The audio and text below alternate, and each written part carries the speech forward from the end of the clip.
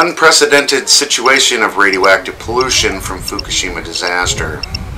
Intense contamination areas uh, designated near downtown Tokyo, and officials say there, there say health assistance for kids and pregnant women women are needed. And this is going to be global. They're living in this radioactive fallout, as we all are.